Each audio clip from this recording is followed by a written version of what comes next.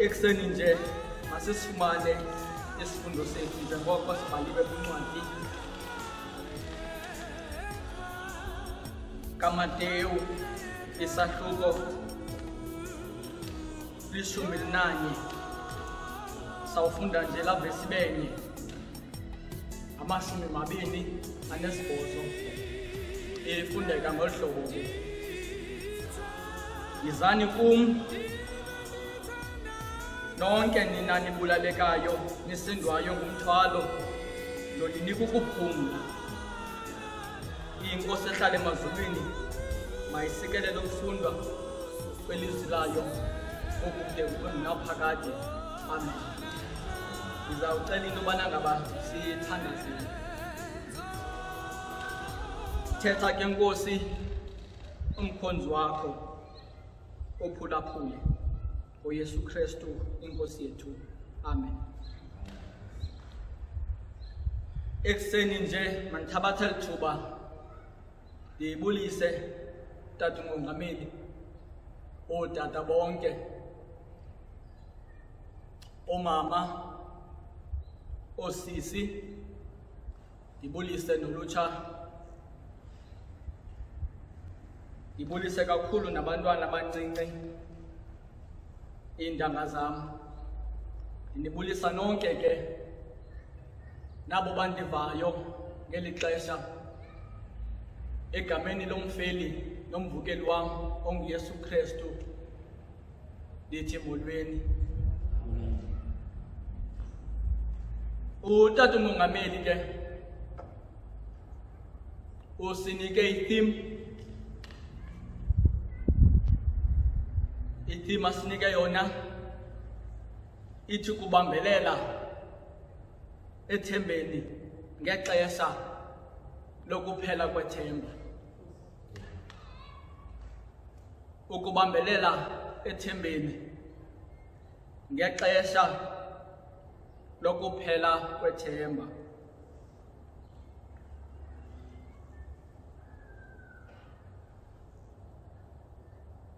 Siphila kwixesha ngoku apho ubani nobani ephelelwa lithemba. Ngoku siphila kwixesha apho abantu ebesikade sithembele ngabo nabo bekwaphelelwa lithemba. Siphila ngoku kwixesha lokuthi ndlela ntle kwabo sibathandayo imihla ngemihla. Siphila ngoku kwixesha lokududuza nokuthuthuzela. Abo sibathandayo imihla ngemihla. Siphila ngoku kwixesha apho zuzwana namzuzwana sisithi rest in peace kwabo basondeleyo apha kuthi.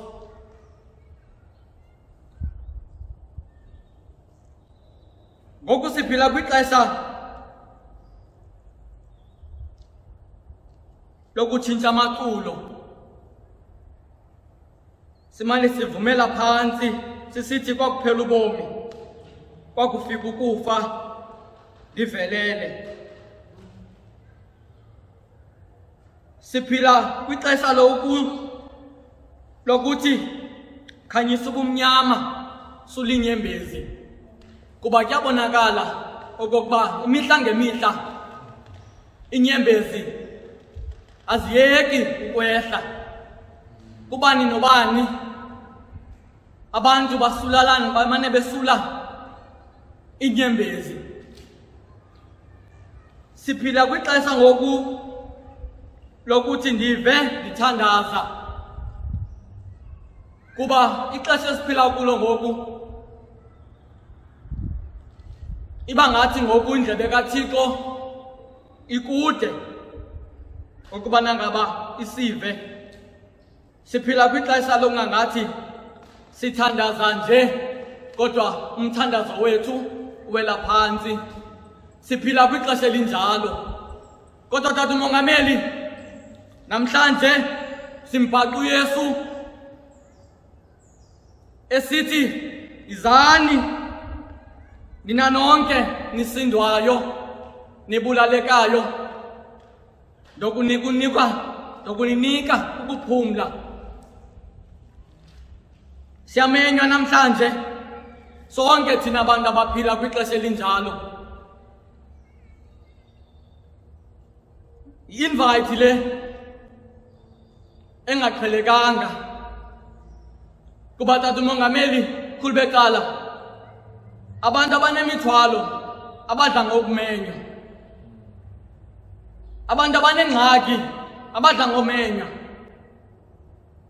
kodwa uyesu apha wenza i-invite enqabileyo eyokubona ngaba amema abantu abangamenywayo ngabantu. Thina sinjalo kaloku singabantu. Simema abantu abanezinto simema abantu abasezindaweni. Kodwa ngeli xesha uyesu umema abantu abanemithwalo. Ndizokuthi ke namhlanje ngimas RSVP ngicela into yobana ngaba sisabele nalo ukhwelo. Siyabizwa ke namhlanje sisonke makrestu kwindawo esikwindawo esikuzo. Sibizelwe ngebeni nguyesu. Sibiziwe makrestu amahle. Into yobana ngaba size ngakuyesu ubizwe nangale nto unayo suthi xa usiza uzibone ingathi wena awulungelanga umsitho kuba unengxaki unenkwaleko unentshutshiso ngapha nangapha uyesu ufuna wena kanye. Sibiziwe amakrestu amahle. Ndicela ke into yobana ngaba ubani namhlanje akazibuzi into yobana ngaba uzawukwenza ntoni na yena ngale invite. Uyesu kristu inkosi yethu. Amen.